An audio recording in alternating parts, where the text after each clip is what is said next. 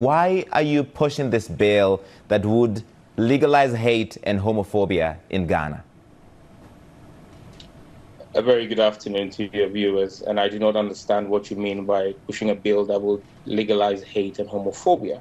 It's a bill to promote proper human sexual rights and Ghanaian family values. If you have another bill you're talking about, then maybe you've got the wrong man. But if you're talking to me about the bill I'm sponsoring in Parliament, is to promote proper human sexual rights and Ghanaian family values. What are these so Ghanaian family values in your mind, sir? What do you consider Ghanaian family values?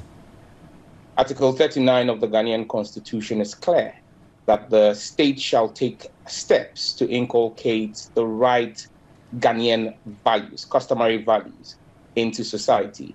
The Constitution of Ghana makes the states clearly that the National House of Chiefs is the custodian of Ghana's custom. This bill is supported by the Ghana National House of Chiefs. Our fourth consultative uh, forum, which was held in the Ashanti regional capital of Kumasi, was actually sponsored by the National House of Chiefs. And the president of the National House of Chiefs spoke extensively at that conference where Ghanaian culture forbids homosexuality.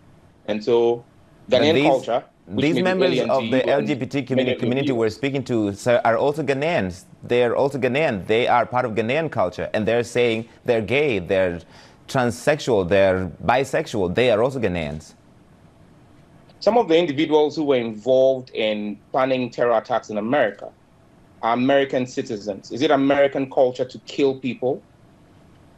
That's a false that's a that, that's not the same comparison. But what i want to focus on here is not the same comparison? You are telling me that because we have people who are carrying out an activity that is illegal per our laws already and our culture frowns on it because they are found in our jurisdiction that is our culture. There is were many American things that were illegal that are unjust. innocent children and teachers? Honorable mp there are many things that were illegal that were unjust and those laws were changed because they are unjust well, laws are a reflection of society.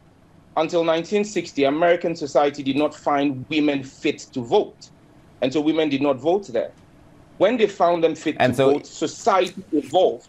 Society evolves. At this point in time, the Ghanaian society is in a position where it says it is not welcoming of homosexuality. And any other person must respect the views of Ghanaian society. The CDD, which your... is a, a, a far right uh, uh, uh, liberal think tank here in Ghana, carried out research which was published on the 1st of July. In fact, the academics who have uh, sent in a memo against this bill have two of their fellows, the CDD's fellows in there, the Center for the for, for, for Democracy in Ghana, Democratic Development.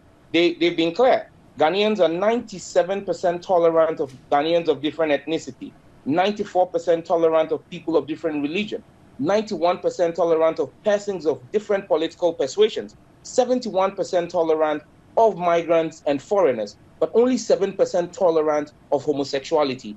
That is the system, that is the society of Ghana. What's your reaction to the members of, of the LGBT community, sir, that we've been speaking to who tell us they're afraid for their lives when this bill passes, if this bill passes, that they're afraid, they're afraid to even leave their homes well, anybody who is engaged in an illegal activity should be afraid of the law, shouldn't you? Then there will be no essence of law. But let's be clear about this. The United States in 2021 remains the most dangerous place for homosexuals. As of June 2021, an independent story, a, a, a story run by the Independent. Sir, independent this is not about the United States. This is about Ghana. This is about Ghana. Homicide no, no, this no. is this we is about Ghana, so I want to focus on Ghana, sir. Hang on, hang on. Let me let me let me ask the question. Let me, I'm, I'm let me ask you the question, sir. This is about Ghana. You are, as part of this bill, legalizing conversion therapy, which UN experts consider torture. Do you believe that homosexuality can be medically treated? Well, tell me how individuals who are born men and decide to become women that's not an answer. Do you believe that people can be cured of homosexuality by some sort of treatment? I was making the point that the individuals who decide to become transgender, who decide to change their sex from male to female, apart from undergoing surgery, also engage in hormonal treatment. Is that torture? because I don't see how different hormonal treatment is from what you call conversion, conversion therapy, therapy. Is not the same as conversion therapy. These are very, very different. This is a false what's equivalence you're making, sir. No, what's the difference? I would need for you to. They, to I am not. I am not a medical expert, but it's been by UN experts who look into this have con considered conversion so therapy as torture. Expert, Larry, Larry, if you're not a medical expert, and I'm saying to you that we've spoken to the experts here in Ghana, and there is nothing different because conversion therapy is a hormonal treatment. And I'm saying to you that when individuals choose on their own volition to change their sex, they undergo hormonal treatment. Men go and take estrogen shots to be able to develop female features. And that's the same thing. That is not the same therapy. thing. That is not the same thing. But I want to move away from that because you, you talked about the United States. Doctor, so you, you talked about the United States. This American organization Sorry? held a conference in Accra in 2019, and shortly after, you introduced a bill with the same language, including family values. So you're influenced by a right wing organization, which is considered one of the most hateful organizations exporting hate around the world. Is that correct? It can't be farther away from the truth. Larry, I was never, myself and none of the seven other colleagues of mine was at this conference. In fact, this conference came to my notice after the CNN's David McKenzie asked me about it. I have had absolutely no contact with the World Council of Families. You describe them in the way in which you want to describe them. But we also have groups from the United States that are supporting LGBTQ rights, that are, which is illegal in Ghana as we speak right now. Section 104 of our Criminal Offences Act uh, makes it criminal. They're already trying to also influence Ghanaian stuff. This bill is in direct response. You say there was a conference here in 2019, a conference I'm unaware about.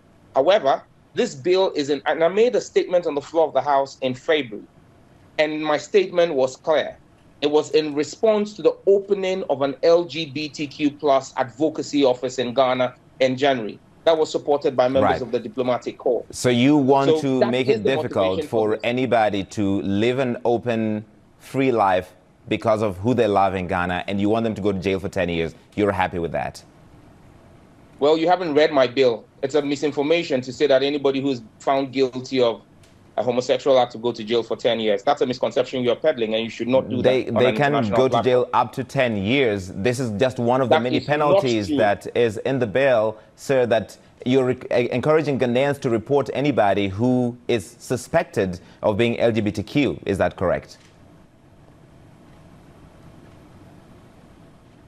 Larry, I would advise that you you put a job at what you're doing. Okay, if you want to put a spin, put a spin on a bill. Right, this is my bill that I've passed before Parliament. I'm going to read to you Section 6.3 of the bill, or Clause 6.3 of the bill, or 6.2 of the bill.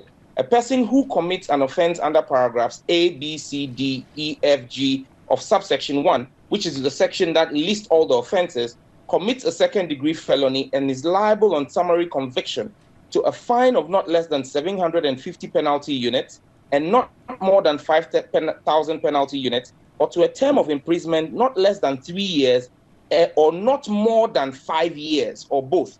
So when you talk about 10 years imprisonment for persons engaged in homosexual activities, you are misleading the world, and that's unfortunate. So, all right, so you, you think, okay, 10 years is not is too much, but five years is perfectly fine for somebody who's gay in Ghana to go to jail.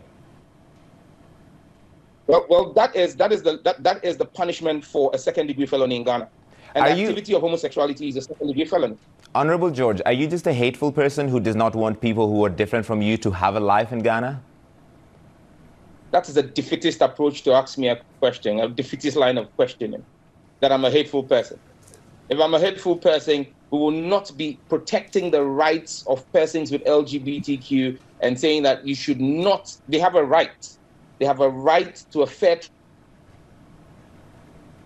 trial before competent court of jurisdiction. Section 22 of our bill prohibits extrajudicial treatment, and you're not highlighting that part. That part is the prohibition of extrajudicial treatment. A person commits a misdemeanor if that person verbally or physically abuses, assaults, or harasses a person A, accused of an offense under this act, or suffering from any gender or sexual identity. A person who commits a misdemeanor under Section 1 is liable to a fine of not less than 500 penalty unit or not more than 1,000 penalty unit or a term of imprisonment not less than six months so you're cherry picking what seems so like a, if, a positive angle person, of a larger bail that would make it difficult. Honorable George, Honorable George, let me ask a question yes. here. You're cherry picking a part of the bail that a, a much wider bail that would make it difficult for people who are LGBTQ in Ghana to live. What would you do, sir, if your son or daughter was gay? Well, thankfully, I have two sons and a daughter, and none of them is gay. That's not the answer. What would you do if one of them was gay? You're asking me to go into the world of abstracts. I'm a, I'm a lawmaker. I deal with specifics. I deal with specific stuff. I don't deal in abstract. Maybe will, you should be talking to a storyteller or something. Will you take responsibility if, because of this bail, people who are going about their lives are attacked by Ghanaians or are harmed because it's legal to do so or people have been encouraged to do so or are suicidal for that matter Larry, take me, their lives because Larry, they can't Larry, live in that society? Well larry let me answer your question. Earlier when i was telling you that this year alone as of june this year alone 21 persons had been attacked and killed in the united states where lgbtq this rights is about ghana sir. This is about ghana sir. So let's focus on ghana. Well well if this is about Ghana, then stop trying to import American values into the reasoning of Ghanaian legislation. I am not an American. I am an African. I'm from Kenya. Well, Kenyan values are not the same as, Amer- as Ghanaian values. We have different values. I That's... didn't say into Africa. I said into Ghanaian values. I'm a Ghanaian legislator. And just so you know, I represent a community or constituency that has two traditional areas. Before agreeing to push this bill, I met with my two traditional council. I am a representative of the people who voted for me.